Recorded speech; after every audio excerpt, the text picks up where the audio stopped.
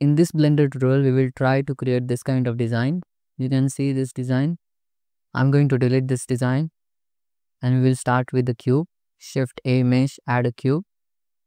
Move this cube along the z axis, then scale it along the z axis. Apply the scale on the cube. Then go to the edit mode, deselect everything. Then press Shift Control Alt and select these corner edges. Then Control B, add bevel on them add one segment bevel, give the proper bevel width. Then select this top face and then Ctrl B, add bevel on it.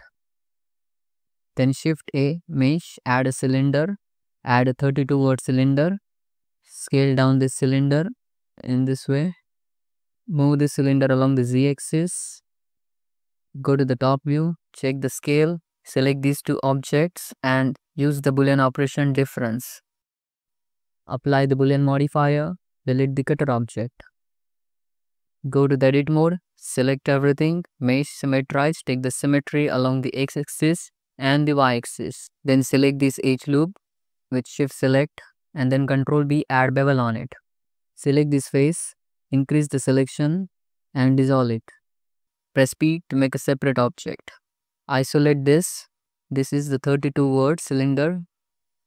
Shift A, mesh and add a cylinder and this time go with a 12 vert cylinder. Scale it down like this. Go to the edit mode, turn on the X-ray mode, select these verts and right click connect vertex pair. Select this edge loop and control B add bevel on it. Add one center loop cut here. Select these verts and move them along the x-axis. Then select everything, mesh and symmetrize. Take the symmetry along the x-axis. Adjust the scale, then select these verts and move them. Then select everything, mesh symmetrize. Take the symmetry then shift d to duplicate it. Move it along the y-axis. Select these verts and move them along the x-axis. Select everything mesh symmetrize take the symmetry. Select everything mesh symmetrize take the symmetry along the y-axis. Select it and move it along the z-axis. Take it here. Select this circular face. Select everything and use the inset operation like this then select both the objects and then use the boolean operation difference. Apply the boolean modifier and delete the cutter object. Select everything, mesh and symmetrize. Take the symmetry along the x-axis. Then select this edge loop and press F to fill the gap. Select these faces and use the inset operation. Now we need to create right topology here. Select these verts and then press J to connect them. In this way, select these verts and then press J to connect them. Now we are facing little difficulty here. To maintain the good edge flow, select this edge loop and control B add bevel on it. Add two segment bevel and give the proper bevel width. Dissolve this edge, dissolve this edge select this edge loop and use the double tap G for the edge slide and just try to create little topological loop structure here. Okay something like this. Then create cut here and create cut like this. Dissolve this edge you can see the loop structure is will go like this. Something weird looking loop structure we are getting but that's okay then select everything, mesh, symmetrize, take the symmetry along the x-axis. Mesh, symmetrize, take the symmetry along the y-axis. And you will get this kind of loop structure. We can redivert this loop structure.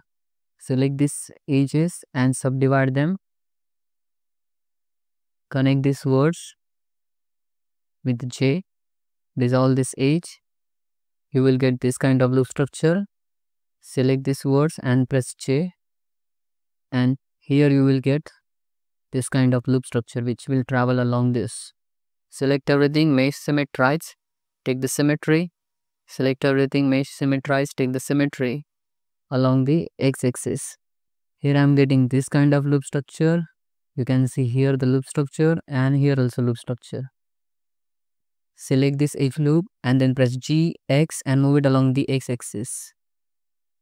Then select everything, mesh and symmetrize. Take the symmetry.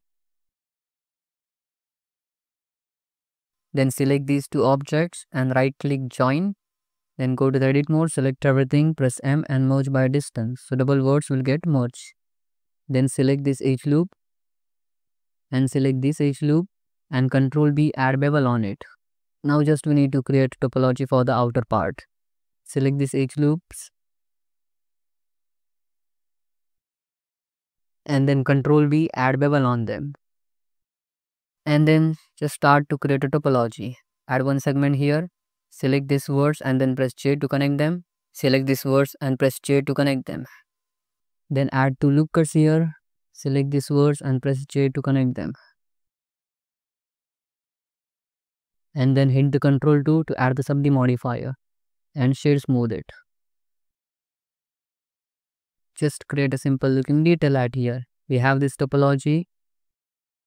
Select these faces and then extrude them along the z-axis in this way. And use the inset operation. Add two loop cuts here.